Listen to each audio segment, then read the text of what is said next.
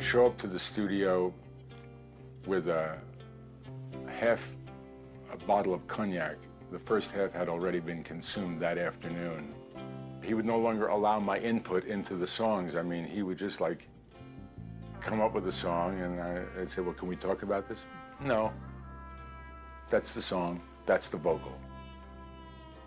And that's why you've got an album that still has, has some lovely moments in it, but I mean, there's no real uh, depth or stature to it uh, anywhere near what uh, the Schmilsson album was, and I was expecting it to be the next level.